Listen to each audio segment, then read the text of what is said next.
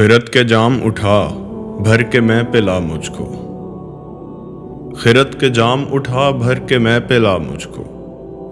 मैं बुझ रहा हूँ, मुझे ख्वाब दे, जला मुझको। न छेड़ फलसफाए इश्क मजाजी फिर से। खुली है आँख अभी, फिर से ना सुला मुझको।